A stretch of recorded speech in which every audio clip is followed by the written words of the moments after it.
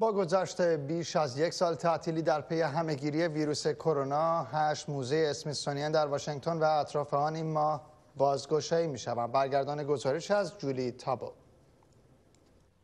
موزه ملی هوافضای اسمیتسونیان در شانتلی ویرجینیا برای اولین بار از زمان تعطیلی ها در پی همهگیری کرونا درهای خود را به روی عموم باز کرده است. این اولین موزه از هشت موزه اسمیتسونیان است که در این ماه با در نظر گرفتن تدابیر و ایمنی لازم در مقابله با همهگیری کرونا از جمله پوشیدن ماسک، رعایت فاصله اجتماعی و رفت آمد کنترل شده در حال بازگشایی است.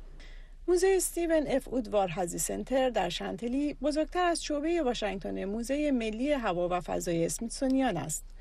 جرمی کینی مدیر امور تحقیقات و سرپرستی موزه هوا و فضای اودوار هزی سنتر در مورد این مرکز فرهنگی می‌گوید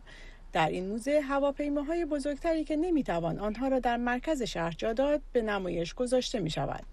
همچنین قرار است در این بازگشایی برای اولین بار و به مناسبت 600 سالگرد اولین پرواز فضایی آمریکا یک جنگنده جت F-18 هورنت که توسط اسکادران معروف ناوگان فرشتگان آبی به پرواز درآمد و دیگری کپسولی که اولین آمریکایی یعنی آلن شپرد در سال 1961 را به فضا منتقل کرد و به راه اندازی برنامه فضایی آمریکا کمک کرد به نمایش گذاشته شود.